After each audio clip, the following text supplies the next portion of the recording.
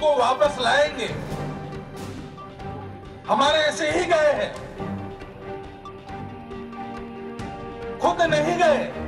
लोग लालच, ज़बरदस्ती से लूट लिए गए। पसंद नहीं तो कानून करो। कहा है संसद ने कानून करो। करने के लिए तैयार नहीं तो क्या करें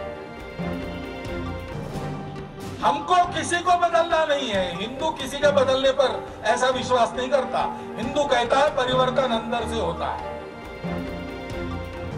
लेकिन हिंदू को परिवर्तन नहीं करना है तो हिंदू का भी परिवर्तन नहीं करना चाहिए इस पर हिंदू आज अड़ा है खड़ा होगा और अड़ेगा രണ്ടായിരത്തി പതിനാലിൽ നരേന്ദ്രമോദിയുടെ നേതൃത്വത്തിലുള്ള സംഘ് പരിവാർ ഭരണകൂടം രാജ്യത്ത് അധികാരത്തിൽ ഏറിയതിനു ശേഷം സ്വാഭാവികമായി നേരത്തെ മതപരിവർത്തനം നടത്തിയവരെ നിർബന്ധപൂർവം തിരിച്ചു കൊണ്ടുവരുവാനുള്ള ശ്രമങ്ങൾ വളരെ ഓപ്പണായി പരസ്യമായിട്ടാണ് നടന്നുകൊണ്ടിരിക്കുന്നത് ഗർ വാപ്പസി എന്ന ഓമനപ്പേരിട്ടാണ് ഇത് നിർവഹിച്ചുകൊണ്ടിരിക്കുന്നത് कन्वर्जन का जहां तक सवाल है बीजेपी एक ही पार्टी देश में ऐसी है जो फोर्सफुल कन्वर्जन को समाप्त करने के लिए कानून लाने के पक्ष में है। मैं सभी so called so called secular party को अपील करता हूं कि वो फोर्सफुल कन्वर्जन को समाप्त करने के लिए कानून लाने में बीजेपी का सपोर्ट करें സാമൂഹ്യ പരിവർത്തനത്തെ സ്വാഗതം ചെയ്യുന്ന സകല മനുഷ്യരും മതപരിവർത്തനത്തെയും സ്വാഗതം ചെയ്യാൻ ചരിത്രപരമായി ബാധ്യതപ്പെട്ടവരാണ് ഒരു പരിവർത്തനവും പാടില്ല എന്ന് പറയുന്നതിൻ്റെ ഒരു തുടർച്ചയിലാണ് മതപരിവർത്തന വിരുദ്ധ കാഴ്ചപ്പാടുകൾ രൂപപ്പെട്ടു വരുന്നത് എത്രത്തോളം ആൾക്കാർ ഹിന്ദു മതത്തിലേക്ക് തിരിച്ചു വരാൻ വേണ്ടിയിട്ട് ഹിന്ദു സംഘടനയെ കോണ്ടാക്ട് ചെയ്യുന്നു അവരെ എല്ലാം തന്നെ നമ്മൾ സ്വധർമ്മത്തിലേക്ക് തിരിച്ചു കൊണ്ടുവരും. അവർക്കുള്ള എല്ലാ സഹായങ്ങളും സംരക്ഷണവും ഞങ്ങൾ നൽകും. ആരെയും തന്നെ നമ്മൾ നിർബന്ധിച്ച് മതപരിവർത്തനം മറ്റുള്ള സംഘടനകൾ പോലെ മുസ്ലിം സംഘടനകൾ പോലെ ക്രിസ്ത്യൻ സംഘടന പോലെ നമ്മൾ ഒരിക്കലും ചെയ്യും ലേറ്റസ്റ്റ് തന്നെ നിങ്ങൾ ഈ അഗർത്തലയിൽ നടന്നിട്ടുള്ള തൊണ്ണൂറ്റെട്ട് ഈ ആദിവാസി കുടുംബങ്ങളെ തിരിച്ചു കൊണ്ടുവന്നു ഹിന്ദുത്വത്തിലേക്ക് എന്നുള്ള ഒരു വാർത്ത കണ്ടല്ലോ. അതുപോലും ഭീഷണിപ്പെടുത്തിയിട്ടാണെന്ന് ഇപ്പോൾ സി പി എം ത്രിപുരയിൽ നടന്നിട്ടുള്ള സംഭവത്തെ സംബന്ധിച്ച് ഇന്നത്തെ ന്യൂസ് പേപ്പറിൽ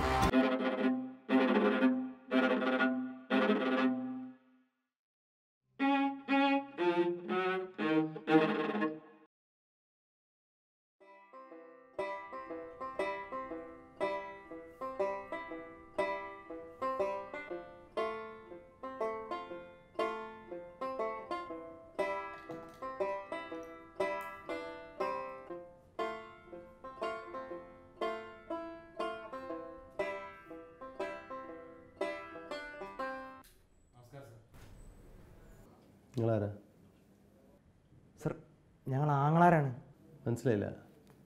സർ ഇവന്റെ പെങ്ങളെ കാണാതായിട്ട് നാല് ദിവസമായി. സർ ഉം.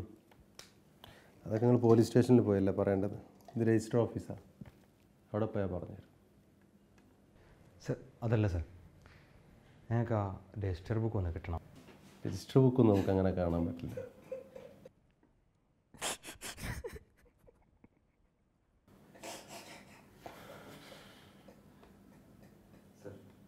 കുടുംബത്തിൽ നിന്ന് പെൺകുട്ടികൾ അന്യജാതിക്കാരന്റെ കൂടെ പോകുമ്പോഴുള്ള വിഷമം. സാറിന് പറഞ്ഞാൽ മനസ്സിലാവില്ല. അപ്പോൾ സാറേ ഞാൻ പറഞ്ഞ കാര്യം? നീ നീ ഒന്നും നീ ഒന്നും മിണ്ടാതിരിക്കുന്നത് വരച്ചേ നീ. പിന്നെ നിങ്ങൾ കാര്യം ചെയ്യൂ. ഒരു വിവരാവകാശ നിയമപ്രകാരമുള്ളൊരു അപേക്ഷയുണ്ട്. അത് അവിടെ കൊടുത്തിട്ട് അതേറ്റ് വന്നാൽ നമുക്ക് രജിസ്റ്റർ നോക്കാം. സർ ഉള്ളത് പറയാലോ? അതിനൊന്നുള്ള സമയമില്ല.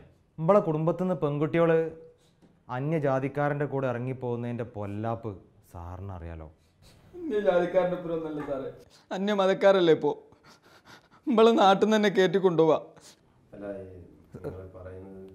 സർ സാർ ഒന്ന് പുറത്തേക്ക് വരും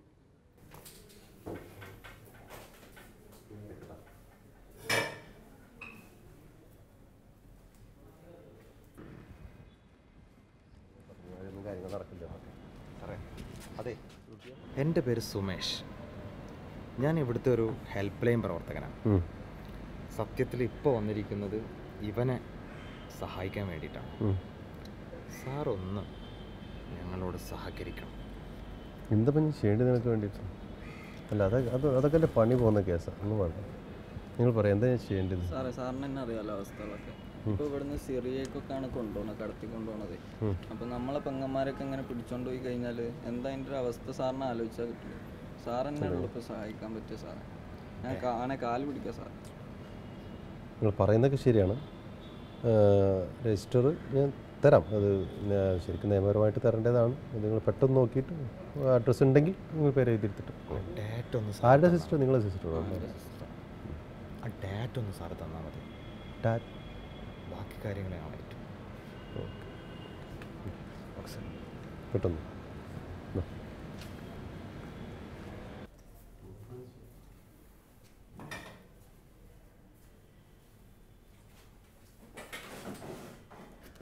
ഫിൽ ചെയ്യണം എന്തായി?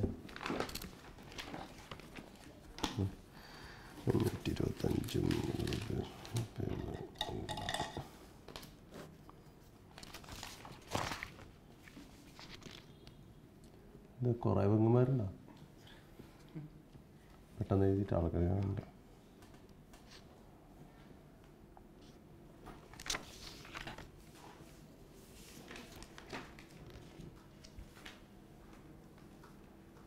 തീർന്നില്ലേ? രണ്ട്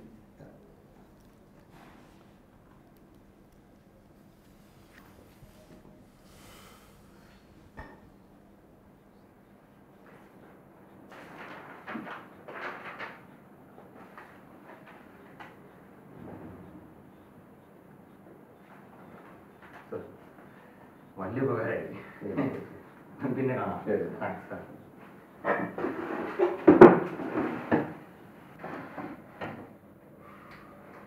സാറേ ചിത്രം ഏകദേശം ശരി എണീക്ക്, എണീക്ക്.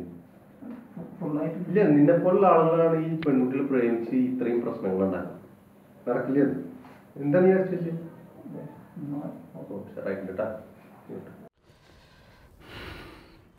ഇങ്ങനെ മലക്കം പറയില്ല സാറേ. അഭിപ്രായം മാറാനുള്ള സ്വാതന്ത്ര്യമൊക്കെ എല്ലാവർക്കും ഉണ്ട്. അതുകൊണ്ട് മോനിപ്പോ പോ.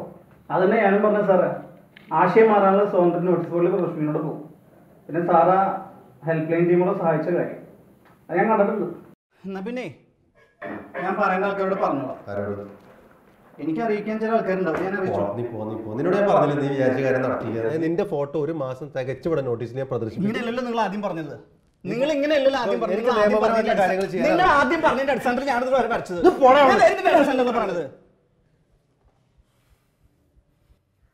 ശരി എന്നാ.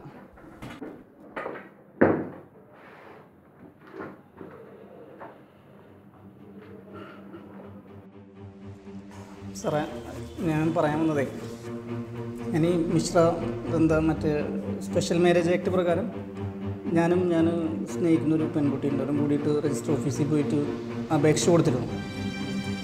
അപ്പോൾ ഒന്ന് രജിസ്റ്റർ ഓഫീസറെ കണ്ടതിന് ശേഷം അവിടുത്തെ അപേക്ഷ സ്വീകരിക്കുന്ന സ്റ്റാഫ് ഉണ്ടല്ലോ.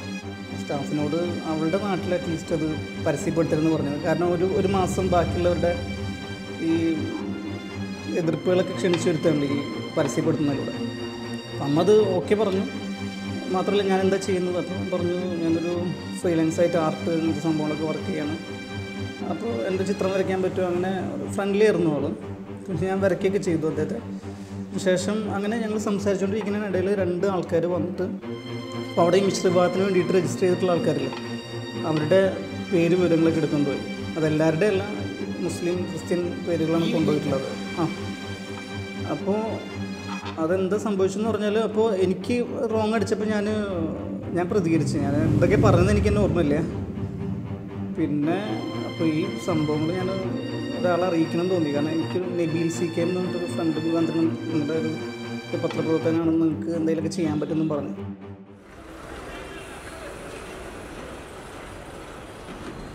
ജേർണലിസം കോഴ്സ് കംപ്ലീറ്റ് ചെയ്തിട്ട് ഒരു ഫ്രീലാൻസ് ജേർണലിസ്റ്റായിട്ട് വർക്ക് ചെയ്തുകൊണ്ടിരിക്കുന്ന സമയമായിരുന്നു ഡെയിലി റിപ്പോർട്ടിങ്ങിൽ താല്പര്യമില്ലാത്തതുകൊണ്ട് ഏതെങ്കിലും ഒരു വിഷയത്തിൽ കൂടുതലായിട്ട് അന്വേഷണങ്ങൾ നടത്തി ഒരു ഇൻഡെപ്ത് സ്റ്റോറി ചെയ്യുക എന്നുള്ള താല്പര്യത്തിന്റെ പുറത്താണ് ഫ്രീലാൻസ് ജേർണലിസ്റ്റായിട്ട് വർക്ക് ചെയ്യാൻ തുടങ്ങിയത്.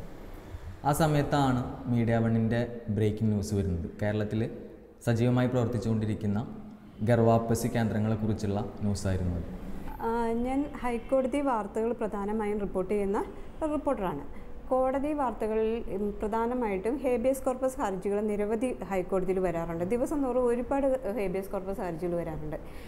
ഇങ്ങ അങ്ങനെ വന്നൊരു ഹേബിയസ് കോർപ്പസ് ഹർജിയാണ് ഇത്രയും വലിയൊരു സംഭവത്തിലേക്ക് എത്താനുള്ള ഒരു കാരണം. തൃശ്ശൂരുള്ള റിൻഡോയാണ് ഇത് ഫയൽ ചെയ്തിരുന്നത്. ഇയാൾ ഈ പെറ്റീഷനിൽ പറഞ്ഞിരുന്നത് തന്റെ ഭാര്യയെ തൃപ്പൂണിത്രയിലുള്ള ഒരു യോഗ കേന്ദ്രത്തെ തടഞ്ഞു വെക്കുകയും മർദ്ദിക്കുകയും ചെയ്തു. അവിടെ ഒരു വലിയ ഒരു പീഡനം നടന്നു. അവിടെ നിന്ന് ഈ പെൺകുട്ടി രക്ഷപ്പെട്ട് ഇപ്പോൾ തന്റെ ഒപ്പമുണ്ട് എന്നാൽ നിരവധി പെൺകുട്ടികൾ ഈ കേന്ദ്രത്തിലുണ്ട്. അവിടെ ഏതൊക്കെ തരത്തിലെ പീഡനങ്ങൾ നേരിട്ടത്? അത് പിന്നെ ഞങ്ങൾ ഞാൻ ചെറുക്കനായിട്ട് സ്നേഹിച്ചായിരുന്നു. ഒരു മുസ്ലിം ചെറുക്കനായിട്ട്. അതിന്റെ പേരിലായിരുന്നു അവിടെ കൊണ്ടാക്കിയത്. അപ്പം എനിക്കറിയില്ലായിരുന്നു ഞാൻ ആ സെന്ററിലാണ് പോകുന്നത്. ഹോസ്പിറ്റലിൽ പോകുന്ന പറഞ്ഞിട്ട് എറണാകുളം ഹോസ്പിറ്റലിൽ പോകുന്നവർക്ക് ഇതാക്കിയ. എന്നിട്ട് ആ സെന്ററിൽ എത്തിയപ്പോൾ മനസ്സിലായത് പെട്ടുപോയി. അവ അവിടുന്ന് ഞാൻ അമ്മേനെ കാണണം പറയും വിചാരിച്ചിട്ട് അമ്മേനെ അപ്പുറത്തെ വേറെ സെന്ററിൽ കൊണ്ടാക്കിയിരുന്നു കാരണം ഞാൻ ഇനി ആദ്യം ഒച്ചപ്പാടാക്കിയാൽ എന്നെ മെന്റൽ ഹോസ്പിറ്റലിൽ കൊണ്ടുപോകാൻ വേണ്ടി അങ്ങനെ നിൽക്കുമായിരുന്നു എന്റെ കൂട്ടുകാരി പറഞ്ഞ കൂട്ടുകാരി അമ്മേന്റെ പേര് ഉണ്ടായതാണ് അവർ അവൾ പറഞ്ഞു നീ കുറച്ചും കൂടി ഇങ്ങനെ കരഞ്ഞാൽ നിന്നെ മെന്റൽ ഹോസ്പിറ്റലാക്കും അങ്ങനെ. അതുപോലെ അവളെയും ആക്കിയതാണ് മെന്റൽ ഹോസ്പിറ്റലിൽ അപ്പോൾ അടുത്ത് ഓരോ കുട്ടികളിങ്ങനെ അമ്മേനെ കാണണം പിന്നെ സ്നേഹിച്ച് ചെറുക്കനെ കാണാനെല്ലാം പറയും പറയും. അധികം കരഞ്ഞാൽ ഇനി ആ ചെറുക്കനെ ഞങ്ങൾ തുണ്ടും തുണ്ട ആക്കും. അതിനുള്ള കൊട്ടേഷൻ സംഘം ഞങ്ങൾ എടുക്കുന്നുണ്ട്. അങ്ങനെ പറയേ. അപ്പോൾ അമ്മേനെ കാണണം പറഞ്ഞാൽ കരഞ്ഞ കരയോ എന്തെങ്കിലും ചെയ്താൽ അവർ ഒരു റൂമിൽ കൊണ്ടുപോയിട്ട് ഷാളിനെ കൊണ്ട് കാലും കൈയും കെട്ടിയിട്ട് വായിന്റെ ഉള്ളിൽ ഷാൾ കുത്തി തിരികിയിട്ട് അടിക്കയിൽ അത് ഗേൾസിനെ ഗേൾസിനെ അവിടെ ഒരു കറാട്ട പഠിക്കുന്ന സാറുണ്ട്.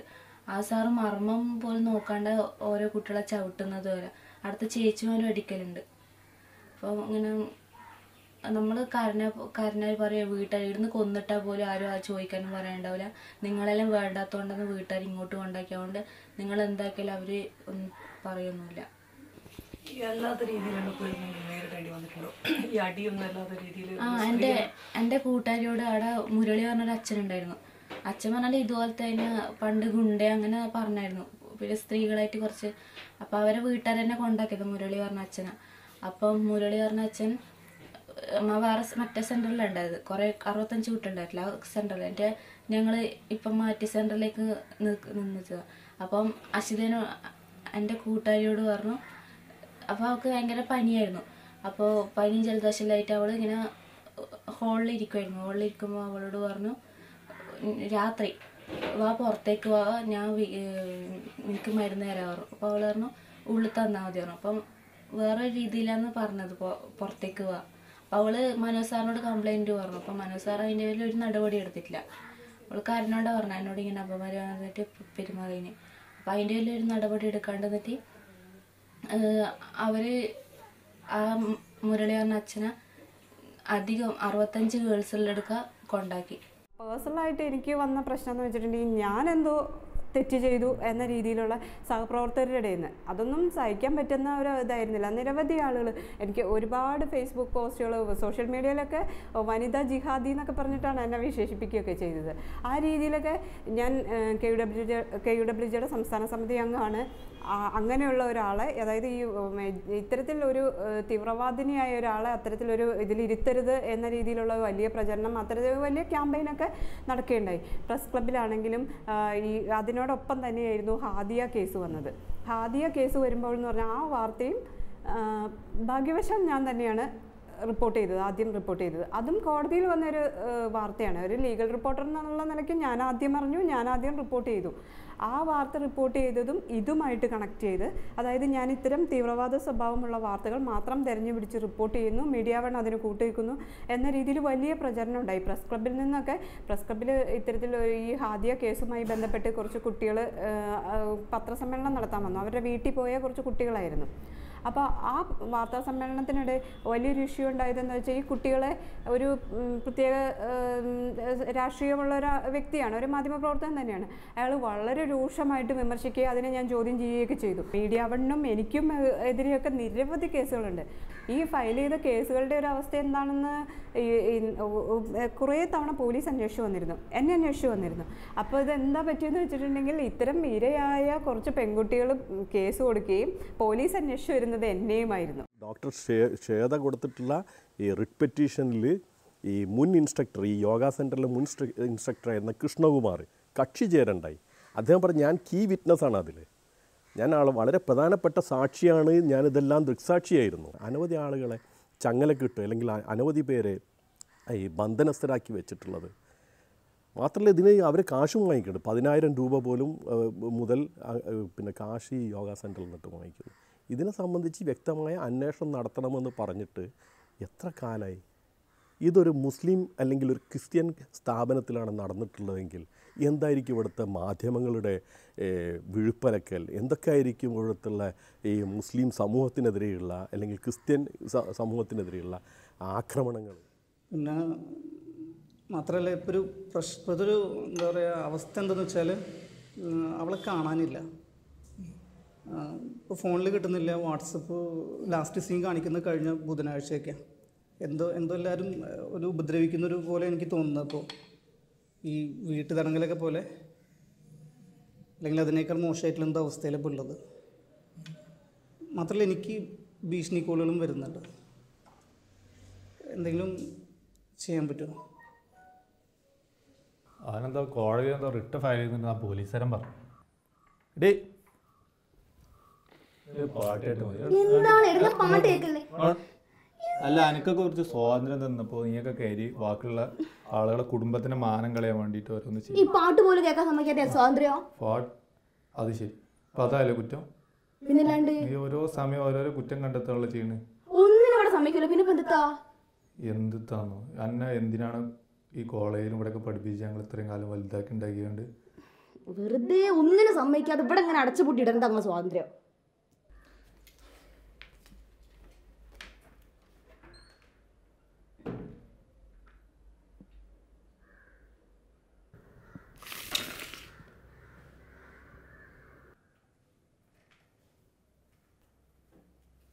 മോളെങ്ങട്ടാ?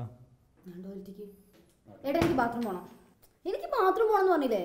എനിക്ക് ഉപദേശമൊന്നും കേൾക്കണ്ട. എനിക്ക് ബാത്റൂം പോണം ഏട്ടാ. ബാത്റൂം പോണം പറഞ്ഞു കേൾക്കുക എന്താ പരിപാടി? ഇത്രയൊന്നും സൗകര്യത്തിന്റെ ആവശ്യമില്ലടാ. ആ ബെഡ് ഇങ്ങെടുത്തേക്ക് മോളെ മോളെ.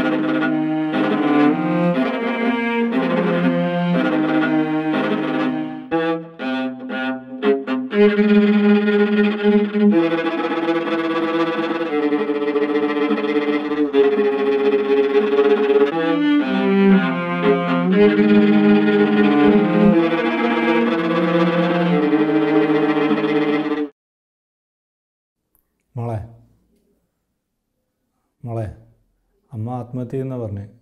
മോക്കറിയാലോ? അമ്മ ആത്മഹത്യ ചെയ്താൽ മോൾ ജീവിച്ചിരിക്കൂലെന്ന്.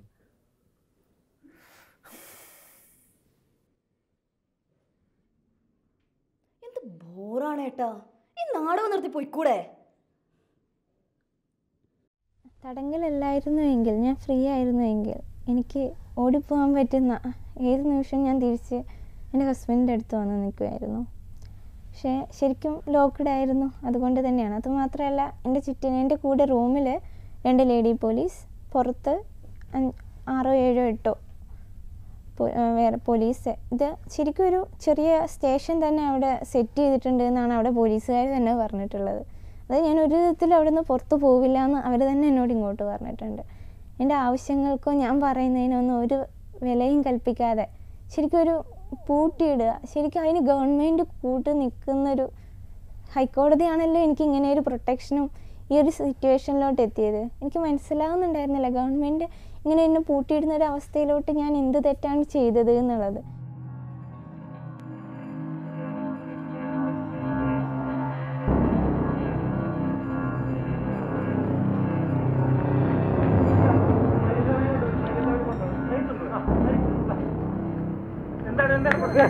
അങ്ങേയറ്റം ഈ,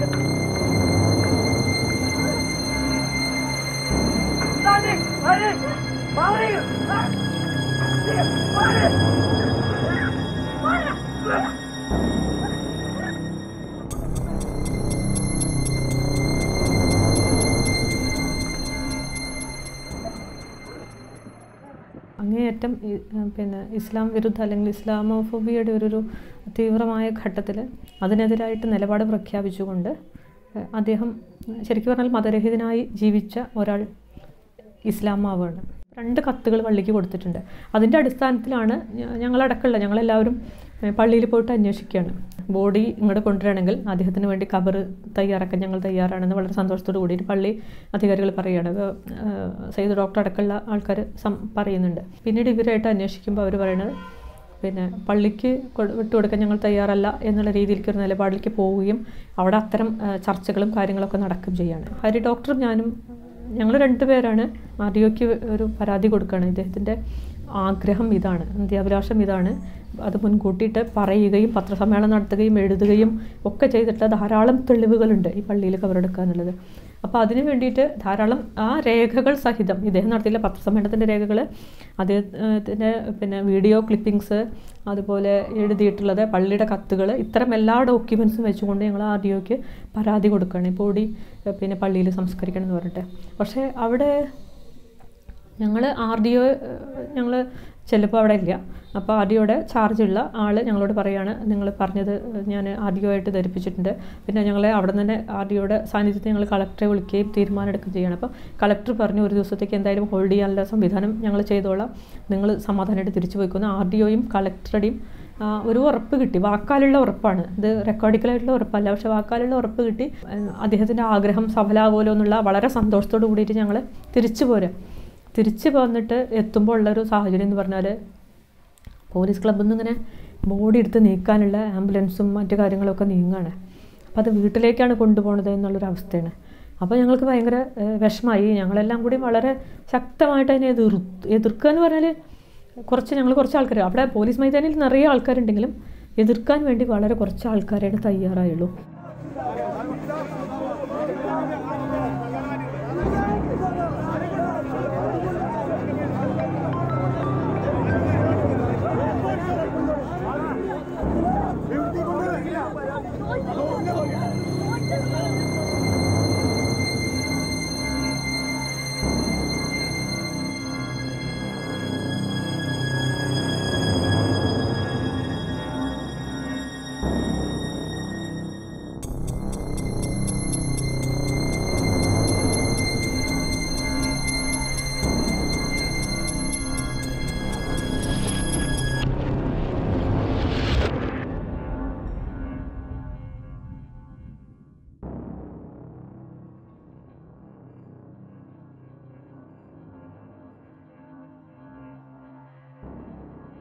വിചിത്രമെന്ന് തോന്നാവുന്ന ഒരാവശ്യമാണ് നിങ്ങൾക്ക് മുന്നിൽ സമർപ്പിക്കുന്നത്.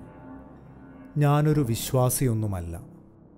വിശ്വാസങ്ങളുടെ വൈവിധ്യ ഭംഗിയിലാണ് ഒരുപക്ഷെ എന്റെ വിശ്വാസം. ജീവിതത്തിലുടനീളം എന്റെ ഏറ്റവും അടുത്ത സുഹൃത്തുക്കൾ എന്നും മുസ്ലിങ്ങളായിരുന്നു. ഇപ്പോഴും ഞാൻ മരിക്കുമ്പോൾ എന്നെ ചേരമാൻ പള്ളിയുടെ വളപ്പിൽ സംസ്കരിക്കുവാൻ കഴിയുമോ? നോക്കൂ മൗലവി. ജനനം തിരഞ്ഞെടുക്കുവാൻ നമുക്ക് അവസരം ലഭിക്കുന്നില്ല. മരണവും മരണാനന്തരവുമെങ്കിലും നമ്മുടെ ഇഷ്ടത്തിന് നടക്കുന്നതല്ലേ ശരി. എന്റെ ഈ അത്യാഗ്രഹത്തിന് മതപരമായ ന്യായങ്ങൾ കണ്ടെത്തുവാൻ പണ്ഡിതനായ നിങ്ങൾക്ക് കഴിയുമെന്നാണ് എന്റെ ഉറച്ച വിശ്വാസം. ഇങ്ങനെ ഒരു ജോയിയുടെ സൃഷ്ടി കൊണ്ട് കാരുണ്യവാനായ ദൈവം എന്തെങ്കിലും ഉദ്ദേശിച്ചിട്ടുണ്ടാവില്ലേ? ജനിച്ച ഈഴവജാതിയുടെ ജാതിബോധം തീണ്ടാതിരിക്കുവാനാണ് അച്ഛൻ എന്നെ മടിയിൽ കിടത്തി അന്ന് ജോയ് എന്ന് പേരിട്ടത്. ബാബരി പള്ളി തകർക്കലിനും ഗുജറാത്ത് വംശഹത്യയ്ക്കും ശേഷം എന്റെ സുഹൃത്തുക്കളുടെ സമുദായം മാത്രം സഹിക്കുന്ന വിവേചനങ്ങളിൽ ഞാൻ അസ്വസ്ഥനാണ്. ഇതിനെതിരായ മുസ്ലിം സാഹോദര്യങ്ങളുടെ പ്രതിഷേധങ്ങളിൽ ഞാൻ അവരോടൊപ്പമാണ്.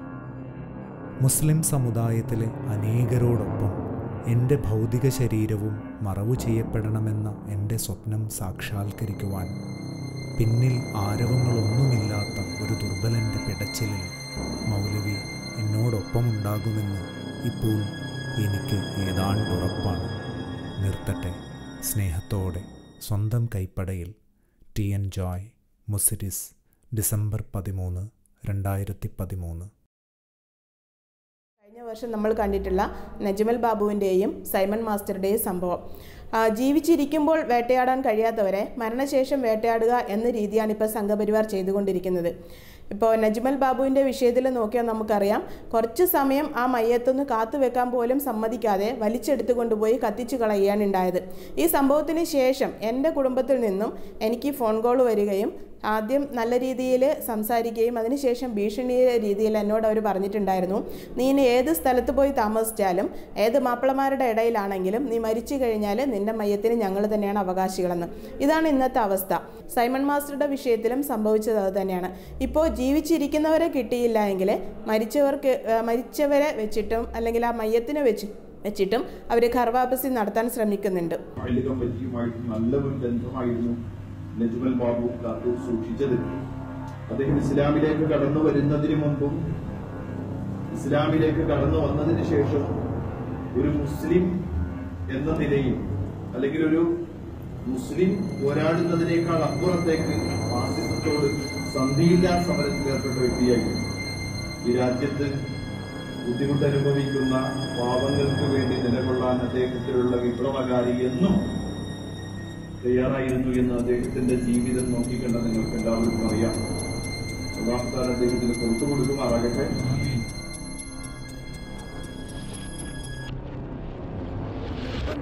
വീട്ടു തടങ്കലാണ് യഥാർത്ഥത്തിൽ ഹിന്ദുയിസത്തിന്റെ ഗർ എന്ന് പറയുന്ന കോൺസെപ്റ്റ് തന്നെ. എന്തുകൊണ്ടാണ് അങ്ങനെ പറയാൻ കാരണം എന്ന് വെച്ചാൽ അംബേദ്കർ ഗാന്ധിയായിട്ടുള്ള വ്യവഹാരത്തിൽ അംബേദ്കർ ചോദിക്കുന്നൊരു ചോദ്യമുണ്ട്. Gandhiji I have no homeland എന്നാണ് അംബേദ്കർ പറയുന്നത്.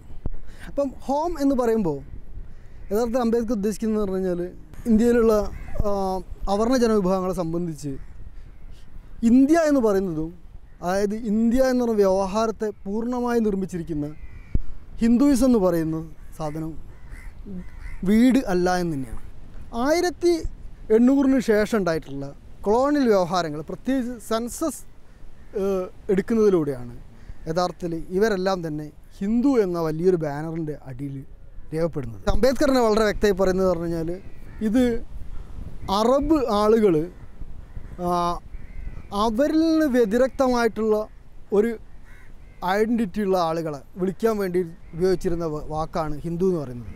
അന്ന് വ്യത്യസ്തമായ ജാതികളും വ്യത്യസ്തമായ ഗോത്രജനങ്ങളുമായി ഇഴ പിരിഞ്ഞുകൊണ്ട് തന്നെ നിലനിൽക്കുന്ന ഒരു സാമൂഹ്യ സാഹചര്യം ഉണ്ടായിരുന്നത്. അപ്പം യഥാർത്ഥത്തിൽ ഞാൻ ചോദിക്കുന്നത് ഇതാണ്. ഗർ വാപ്പസി എന്നുമ്പോൾ പറയുന്ന സമയത്ത് ആൾറെഡി ഒരു ഗർ ഉണ്ടായിരിക്കണം വീടുണ്ടായിരിക്കണം വീട്ടിലേക്ക് തിരിച്ചു വരാൻ. ഇത്തരത്തിൽ വീടില്ലാത്ത ആളുകളെ നിങ്ങൾക്ക് എങ്ങനെയാണ് വീട്ടിലേക്ക് കൊണ്ടുവരാൻ കഴിയുക എന്നുള്ളതാണ് യഥാർത്ഥത്തിൽ വീട്ടിലേക്ക് കൊണ്ടുവരിക എന്ന് പറഞ്ഞു കഴിഞ്ഞാൽ ചില ജനവിഭാഗങ്ങളെ ബ്രാഹ്മണേതരായിട്ടുള്ള സവർണേതരായിട്ടുള്ള ജനവിഭാഗങ്ങളെ കൃത്യമായി ബ്രാഹ്മണിക് അതിവിഹാര വ്യവസ്ഥയുടെ ചോറ്റുപട്ടാളമാക്കി മാറ്റുന്ന കൃത്യമായി വീട്ടു വീട്ടുതടങ്കലിലാക്കുന്ന കൃത്യമായി നിയന്ത്രിതമായ ഒരു ശരീരമാക്കി മാറ്റുന്ന ഒരു പ്രക്രിയയായിട്ട് ഇതിനെ കാണണം എന്നുള്ളതാണ്. രണ്ടായിരത്തി മൂന്നിലാണ് ഞാൻ ഔപചാരികമായി ഇസ്ലാം സ്വീകരിക്കുന്നത്. അപ്പോൾ ആ കാലഘട്ടത്തിൽ അതിന് മുമ്പും ഒക്കെ തന്നെ ഇസ്ലാം സ്വീകരിച്ചവർക്കെതിരെ വളരെ വയലന്റായിട്ടുള്ള ആക്രമണങ്ങൾ ഹിന്ദുത്വ ശക്തികളിൽ നിന്നുണ്ടായിട്ടുണ്ട് ചിലവർ പല പലരെയും കൊല്ലപ്പെടുകയും അതിന് ശേഷവും ധാരാളം കേസുകൾ ഉണ്ടായിട്ടുണ്ട്.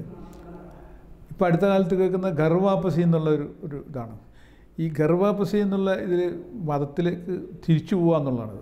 ഈ പ്രയോഗം യഥാർത്ഥത്തിൽ സവർണ ഹിന്ദുക്കളെ സംബന്ധിച്ച് മാത്രമേ ബാധകമുള്ളൂ.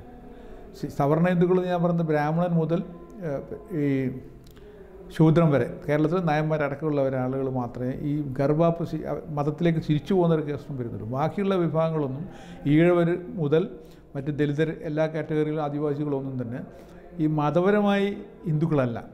പൊളിറ്റിക്കലായിട്ടുള്ള ഡിസിഷന്റെ ഭാഗമായിട്ട് അവരെ ഹിന്ദുക്കളുടെ പട്ടികയിൽ ഉൾപ്പെടുത്തപ്പെട്ടതാണ്. അതുകൊണ്ട് തന്നെ അവർക്ക് തിരിച്ചു പോകുന്ന ഒരു പ്രശ്നം വരുന്നില്ല. കാരണം അത് അവരുടെ മതമായിരുന്നില്ല. ഇസ്ലാം മതം സ്വീകരിക്കണമെന്ന് ഞാൻ തീരുമാനിക്കുകയും അതിനനുസരിച്ച് എന്റെ ജീവിത രീതിയും വസ്ത്രധാരണവും മാറ്റിയപ്പോൾ നാട്ടിലും കുടുംബത്തിലെല്ലാം ഒരുപാട് പ്രശ്നങ്ങളുണ്ടായി. അതിന്റെ ഒരു പിന്തുടർച്ച എന്നോണം എന്റെ അമ്മ ആത്മഹത്യ ചെയ്യുകയും ചെയ്തു. രണ്ടായിരത്തി പത്തിൽ ഞാൻ നാട്ടിൽ പോയ സമയത്തായിരുന്നു എനിക്ക് നേരെ ആക്രമണം ഉണ്ടായതും എന്നെ ഏതെങ്കിലും രീതിയിൽ കേസിൽ കൊടുക്കാൻ വേണ്ടിയിട്ട് ശ്രമിച്ചതും. ലവ് ജിഹാദ് ലവ് ജിഹാദ് എന്നൊരു വിഷയം തുടങ്ങിയ സമയമായിരുന്നു. ഞാൻ നാട്ടിൽ പോയ സമയത്ത് ഞാൻ താമസിച്ചിരുന്ന വീട്ടിൽ വന്ന് ആർ എസ് എസ്സുകാർ ആ വീട് വളയുകയും ഏകദേശം നൂറ്റി അൻപതോളം ആർ എസ് എസ്സുകാർ വന്ന് വീട് വളയുകയും എന്നെ നിര ഭീഷണിപ്പെടുത്തുകയും ചെയ്തു. ഒന്നുകിൽ ഞാൻ ഹിന്ദുമതം സ്വീകരിക്കണം തിരിച്ച് ഹിന്ദുവായിട്ട് മാറണം ഇല്ലാന്നുണ്ടെങ്കിൽ അവരെന്നെ വധിക്കും അല്ലെങ്കിൽ അംഗച്ഛേദം വരുത്തും എന്ന് പറഞ്ഞു. അതിനുശേഷം അത് അവരുടെ ആ ഒരു പ്രലോഭനത്തിന് ഞാൻ വീഴൂല എന്ന് കണ്ടപ്പോൾ അവരെനിക്ക് ഒരുപാട് വാഗ്ദാനങ്ങൾ തന്നു. വീട് വെച്ച് തരാമെന്നും അല്ലെങ്കിൽ അതിനനുസരിച്ച് എനിക്ക് എന്റെ ജീവിത രീതിയിൽ മാറ്റം വരുത്തി തരാമെന്നും പറഞ്ഞിരുന്നു. അതും പറ്റൂല എന്ന് കണ്ടപ്പോഴാണ് അവർ പോലീസുകാരുമായിട്ട് ബന്ധപ്പെട്ട് എന്നെ ലവ് ജിഹാദുമായിട്ട് ബന്ധപ്പെടുത്തി അറസ്റ്റ് ചെയ്യണം എന്ന ലെവലിൽ വരെ എത്തിയത്. ആ സമയത്തും എന്തു തന്നെ ചെയ്താലും ഞാൻ ഇസ്ലാമിൽ നിന്ന് പോകില്ല എന്ന് പറഞ്ഞതുകൊണ്ട് കുറച്ച് പ്രക്ഷോഭങ്ങൾ നാട്ടിലുണ്ടാക്കുകയും പത്രത്തിലും ടി വിയിലും ഒക്കെ വാർത്ത വരുത്തുകയും ചെയ്തു. ലവ് ജിഹാദുമായിട്ട് ബന്ധപ്പെട്ട് ആളുകളെ മതം മാറ്റാൻ നടക്കുന്ന ഒരാളാണ് ഞാൻ എന്ന രീതിയിൽ അതിനുശേഷം അന്നു മുതലേ കഴിഞ്ഞ ഒരു രണ്ട് വർഷം മുമ്പ് വരെ നിരന്തരം പിന്തുടർന്ന് വേട്ടയാടുന്ന ഒരു സ്വഭാവമായിരുന്നു സംഘപരിവാറിൽ നിന്ന് എനിക്കുണ്ടായിരുന്നത്. മുസഫർ നഗർ കലാപത്തിന് ശേഷം രണ്ടായിരത്തി പതിനഞ്ചിൽ കോബ്ര പോസ്റ്റ് പുറത്തുവിട്ട ഒരു റിപ്പോർട്ട് മുസഫർ നഗർ കലാപത്തിൽ ലവ് ജിഹാദ് എങ്ങനെ വർക്കൗട്ട് ചെയ്തു എന്നതിനെക്കുറിച്ച് കൃത്യമായ തെളിവുകൾ നമുക്ക് നൽകുന്നുണ്ട്. കൽക്കത്തയിലെ മാൽദയിൽ നിന്നും രാജസ്ഥാനിൽ വന്ന് വർഷങ്ങളായി കൂലിവേല ചെയ്തുകൊണ്ടിരിക്കുന്ന സാധാരണക്കാരനായ അഫ്രസുൽ ഖാനെ സംഘ് പരിവാർ പ്രവർത്തകനായ ശംഭുലാൽ ബൈക്കിൽ കൊണ്ടുപോയി മഴുവെടുത്ത് വെട്ടി നുറുക്കി മണ്ണെണ്ണയൊഴിച്ച് കൊന്നതിന് ന്യായം പറഞ്ഞതും ഈ ലവ് ജിഹാദ് തന്നെയായിരുന്നു.